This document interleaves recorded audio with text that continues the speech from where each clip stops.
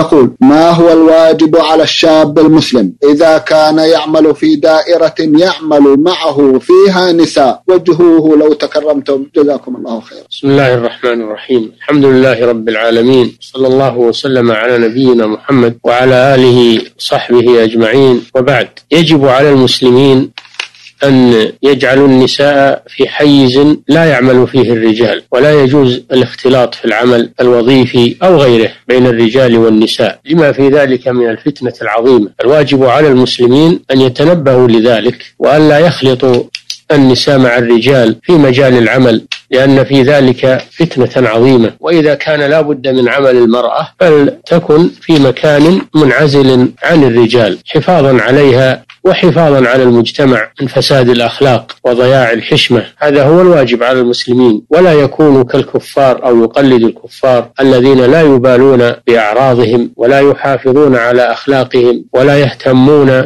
بامور دينهم، فإن المسلمين لهم ميزة على العالم بما ميزهم الله به من الإسلام وأخلاق المسلمين وهم القدوة للعالم، أما أن المسلمين يقتدون بالكفار فهذا انتكاس، وما ذكره السائل من أنه يعمل في مجال مختلط فهذا أمر محرم. إن قدر على أن يعمل على الإصلاح وتفادي الاختلاط وجعل النساء في مجال منعزل عن الرجال وجب عليه ذلك. وإن لم يكن في يده قدرة على تغيير الواقع فعليه أن يطلب عملا آخر ليس فيه مجال نساء واختلاط مع النساء. يطلب مجالا آخر يبتعد فيه عن الاختلاط بالنساء. والمجالات كثيرة ولله الحمد. ومن يتق الله يجعل له مخرجا ويرزقه من حيث لا يحتسب. ومن يتوكل على الله فهو حسبه. إن الله بالغ أمره قد جعل الله لكل شيء قدر